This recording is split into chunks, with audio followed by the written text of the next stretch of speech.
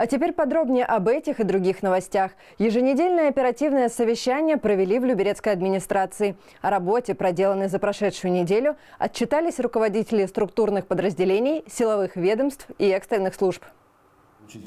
За прошедшую неделю в Люберецкую полицию поступило 2300 обращений. Возбуждено 12 уголовных дел, 8 раскрыты по горячим следам. Произошло 251 ДТП с четырьмя пострадавшими. В Люберцах на шоссейной улице совершено убийство. Подозреваемый задержан. Увеличилось количество дистанционных мошенников. Еще раз хочу обратиться к нашим гражданам, которые продолжают слушать мошенников, отправлять свои деньги. Это также, как касается очень много молодых на каких-то играют в сайтах, отправляют свои деньги, берут кредиты и наших пенсионеров. Еще раз предупредить, никакие сотрудники правоохранительных органов не могут вам звонить, никакие кредиты не могут вам выдавать и так далее, и так далее. В округе реализуется программа «Чистая вода». От поселка Томилина до Октябрьского будет построен водовод протяженностью 7 тысяч метров. Более двух километров уже проложены. Работы завершат осенью следующего года. Продолжается благоустройство парковых территорий. В городе Люберцы преобразится парк Наташинские пруды, в поселке Октябрьский – лесная опушка. В ближайшее время приступает к благоустройству зоны отдыха в деревне Марусина. В этом парке достаточно давно просили сами люберчане, и в этом году принято решение о проведении работ первого этапа за счет местного бюджета.